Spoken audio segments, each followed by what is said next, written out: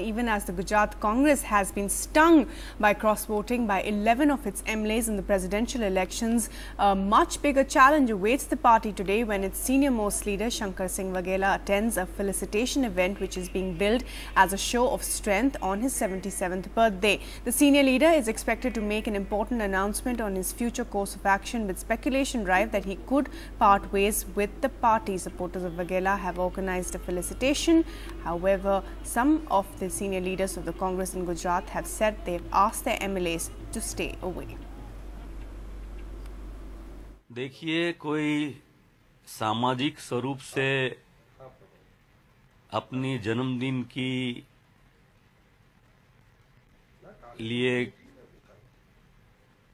कोई उत्सव कर रहा है तो वो खुशी की बात है और हमारी भी शुभकामनाएँ हैं लेकिन अगर वो सम्मेलन को राजनीतिक स्वरूप दिया जाए तो मुझे लगता है कि कांग्रेस पार्टी इसका समर्थन नहीं करती And Rohit Bal now joins us from Ahmedabad for the very latest on this. Rohit, uh, trouble, more trouble in fact for Gujarat Congress ahead of the assembly elections. And Shankar Singh Waghela is one person who said that his demands have gone unheard many times and seems to be quite disgruntled uh, in general.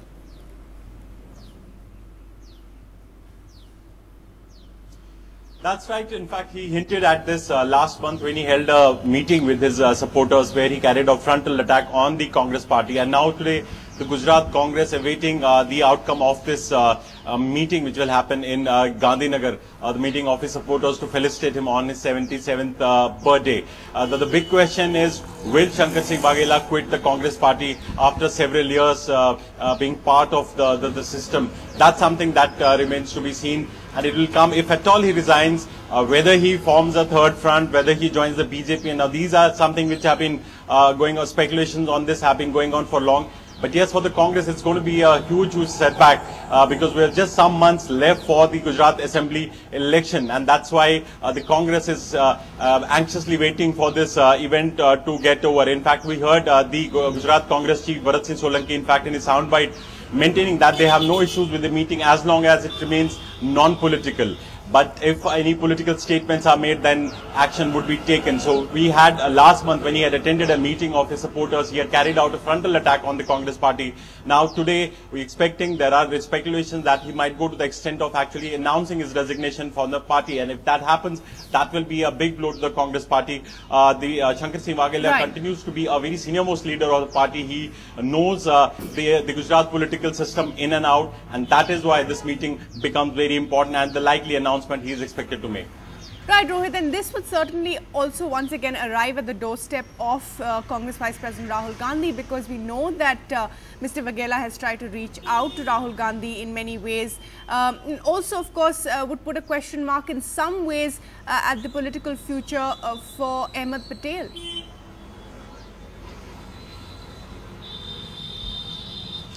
That's right. In fact, uh, ne next month, that's the 8th of August, elections are due to three uh, Sabha seats, including the one held by Mr. Ahmed uh, Patel.